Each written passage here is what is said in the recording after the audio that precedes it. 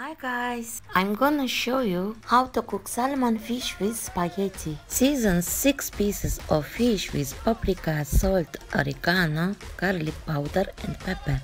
Fry on both sides for 1 minute on low heat. 2 bunches of spinach, coriander, 200 gram cherry tomatoes. Squeeze half a lemon over the fish. Fry the garlic and tomatoes in the remaining oil for 2 minutes. Add 500 grams cream, 6 tablespoons parmesan cheese. Add spinach and fry for 1 minute.